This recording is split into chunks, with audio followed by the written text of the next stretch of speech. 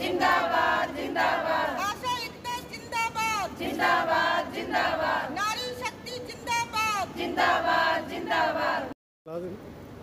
Union ਜਿੰਦਾਬਾਦ। ਸਾਡਾ ਏਕਾ ਜਿੰਦਾਬਾਦ। ਸਾਡੇ ਹੱਕ। ਇੱਥੇ ਰੱਖ। ਸਾਡੇ ਹੱਕ। ਇੱਥੇ ਰੱਖ। ਸਾਡੇ ਹੱਕ। ਇੱਥੇ ਰੱਖ ਪੰਜਾਬ ਸਰਕਾਰ ਮੁਰਦਾਬਾਦ ਪੰਜਾਬ ਸਰਕਾਰ ਮੁਰਦਾਬਾਦ ਸੈਂਟਰ ਸਰਕਾਰ ਮੁਰਦਾਬਾਦ ਸਾਡੇ ਹੱਕ ਇੱਥੇ ਰੱਖ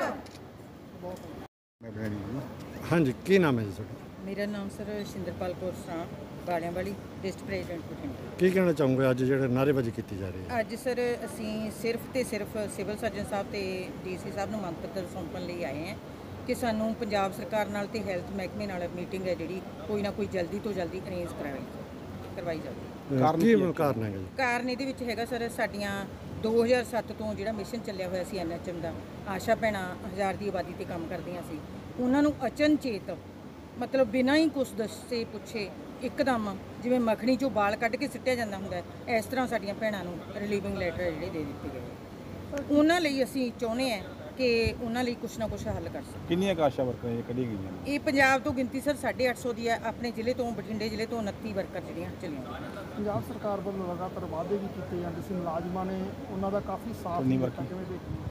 ਸਰ ਬਿਲਕੁਲ ਵੀ ਜਿਹ- ਜਿਹੜਾ ਅਸੀਂ ਆਮ ਆਦਮੀ ਪਾਰਟੀ ਸਮਝ ਕੇ ਅਸੀਂ ਬਹੁਤ ਹੀ ਜ਼ੋਰ ਸ਼ੋਰ ਨਾਲ ਉਹਨਾਂ ਦੀਆਂ ਉਮੀਦਾਂ ਤੋਂ ਵੱਧ ਉਹਨਾਂ ਨੂੰ ਜਿਤਾ ਕੇ ਅਸੀਂ ਭੇਜਿਆ ਹੈ। ਪਰ ਅਸੀਂ ਅੱਜ ਉਸ ਟਾਈਮ ਨੂੰ ਪਛਤਾ ਰਹੇ ਹਾਂ ਕਿ ਇਸ ਤੋਂ ਅੱਛੀਆਂ ਪੰਜਾਬ ਦੀਆਂ ਪਹਿਲੀਆਂ ਸਰਕਾਰਾਂ ਸੀ ਜੋ ਸਾਡੇ ਲਈ ਕੁਝ ਨਾ ਕੁਝ ਕਰਦੀਆਂ ਸੀ ਸਾਰੀ ਪਬਲਿਕ ਸਾਰੇ ਮਜ਼ਦੂਰ ਕੀ ਸਾਰੀਆਂ ਜਥੇਬੰਦੀਆਂ ਹੀ ਅੱਜ ਇਸ ਸਰਕਾਰ ਤੋਂ ਬਹੁਤ ਜ਼ਿਆਦਾ ਹੈਰਾਨ ਪਰੇਸ਼ਾਨ ਅਗਲੀ ਰਣਨੀਤੀ ਕੀ ਤਿਆਰ ਕੀਤੀ ਹੈ? ਅਗਲੀ ਰਣਨੀਤੀ ਸਰ ਸਾਡੀ ਅ, ਜਲੰਧਰ ਜਿਮਨੀ ਚੋਣ ਆ ਰਹੀ ਹੈ 10 ਤਰੀਕ ਨੂੰ ਉਸ ਤੋਂ ਪਹਿਲਾਂ ਅਸੀਂ 5 ਜੁਲਾਈ ਨੂੰ ਪੂਰੀਆਂ ਮਤਲਬ ਜਲੰਧਰ ਦੀਆਂ ਸੜਕਾਂ ਜਾਮ ਕਰਨ ਜਾ ਰਹੇ ਹਾਂ ਅੱਜ ਬਠਿੰਡੇ ਹੀ ਇਹ ਦਿੱਤਾ ਮੰਗ ਪੱਤਰ ਕਿ ਹਾਂਜੀ ਆਲ ਪੰਜਾਬ ਦੇ ਵਿੱਚ ਅ, ਬਹੁਤ ਵੱਡੇ ਰੋਸ ਪ੍ਰਦਰਸ਼ਨ ਕਰਕੇ ਕਈ ਜ਼ਿਲ੍ਹਿਆਂ ਤੇ ਮੰਗ ਪੱਤਰ ਦਿੱਤੇ ਜਾ ਰਹੇ ਹੈ। ਪਰ ਬਹੁਤ ਜ਼ਿਆਦਾ ਗਰਮੀ ਹੋਣ ਦੇ ਨਾਤੇ ਮੈਂ ਬਠਿੰਡੇ ਜ਼ਿਲ੍ਹੇ ਤੇ ਆਉਣ ਲਈ ਸਿਰਫ ਮੰਗ ਪੱਤਰ ਸਿਵਲ ਸਰਜਨ ਤੇ ਡੀਸੀ ਸਾਹਿਬ ਨੂੰ ਬਹੁਤ ਘੱਟ ਗਿਣਤੀ ਦੇ ਵਿੱਚ ਵਰਕਰਾਂ ਨੂੰ ਲੈ ਕੇ ਹਾਜ਼ਰ ਹੋਏ ਕਰੋਨਾ ਸਮੇਂ ਜਦੋਂ ਕੋਈ ਅੱਗੇ ਆਉਣ ਲਈ ਤਿਆਰ ਨਹੀਂ ਸੀ ਤੇ ਉਦੋਂ ਤੱਕ ਕਰੋਨਾ ਯੋਧੇ ਕਿਹਾ ਜਾਂਦਾ ਸੀਗਾ ਜੀ ਤੇ ਹੁਣ ਕਿਉਂ ਕੱਢਿਆ ਜਾ ਰਿਹਾ ਹੈ ਬਿਲਕੁਲ ਉਹੀ ਸਰ ਸਾਨੂੰ ਬਹੁਤ ਅਫਸੋਸ ਹੈ ਇਸ ਗੱਲ ਦਾ ਕਿ ਕਰੋਨਾ ਵਰਗੀ ਮਹਾਮਾਰੀ ਅ, ਦੇ ਨਾਲ ਅਸੀਂ ਲੜ ਕੇ ਲੋਕਾਂ ਨੂੰ ਸੇਵ ਕੀਤਾ ਜਿੱਥੇ ਘਰ ਦੇ ਆਪਣੇ ਵੀ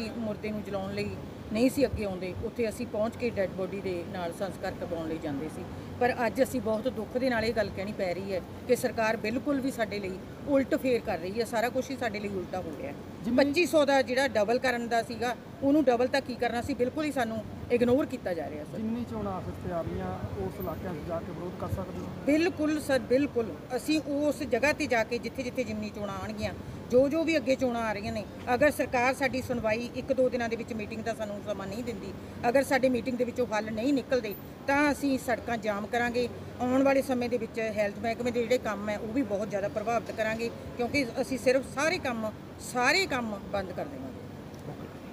ਕੀ ਨਾਮ ਹੈ ਤੁਹਾਡਾ? ਮੇਰਾ ਨਾਮ ਹਰਵਿੰਦਰ ਕੌਰ ਹੈ ਜੀ ਮੈਂ ਰਾਮਾ ਮੰਡੀ ਤੋਂ ਆਸ਼ਾ ਵਰਕਰ ਤਲਵੰਡੀ ਬਲਾਕ ਤੋਂ ਪ੍ਰਧਾਨ ਹਾਂ।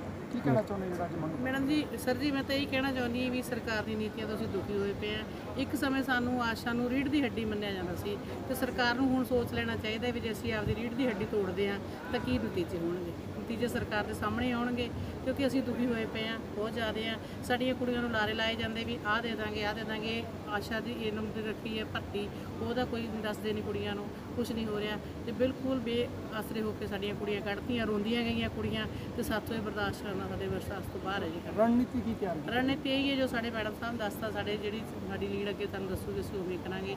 ਜੇ ਸਾਨੂੰ ਵੱਡਾ ਸੰਘਰਸ਼ ਕਰਨਾ ਪਏਗਾ ਅਸੀਂ ਜ਼ਰੂਰ ਕਰਾਂਗੇ। ਜਦੋਂ ਲੋੜ ਹੁੰਦੀ ਹੈ ਉਦੋਂ ਬੜੇ ਵਾਅਦੇ ਕੀਤੇ ਜਾਂਦੇ ਤੇ ਮੁੜ ਕੇ ਸਾਡੇ ਨਾਲ ਵਾਅਦੇ ਕੀਤੇ ਜਾਂਦੇ ਆ ਸਾਨੂੰ ਮਰਿਆਇਆ ਜਾਂਦਾ ਹੈ ਸਾਨੂੰ ਸਾਰੀਆਂ ਕੁੜੀਆਂ ਨੂੰ ਅੱਡੋ ਅੱਡੀ ਲੋਕ ਚ ਛੱਡੇ ਜਾਂਦੇ ਆ ਦਫ਼ਤਰ ਵਾਲੇ ਸਾਡੇ ਨਾਲ ਮਹਿਕਮਾ ਵੀ ਮਿਲ ਜਾਂਦਾ ਹੈ। ਸਾਨੂੰ ਉਹ ਸਾਰੇ ਉਸ ਰੋਡ ਲੀਡ ਕਰਦੇ ਆ ਵੀ ਹਾਂਜੀ ਤੁਹਾਡਾ ਇਹ ਹੋਊਗਾ ਇਹ ਹੋਊਗਾ, ਐਵੇਂ ਹੋਊਗਾ। ਕਰਕੇ ਤੋਂ ਸਾਤੋਂ ਕੰਮ ਲੈ ਕੇ ਫਿਰ ਸਾਨੂੰ ਮੈਡਮ ਦੇ ਕਹਿਣ ਨੂੰ ਜਿਵੇਂ ਮਗਣੀ ਚੋਂ ਵਾਲ ਕੱਢੀ ਦੇ ਨਹੀਂ ਕਰ ਦਿੰਦੇ।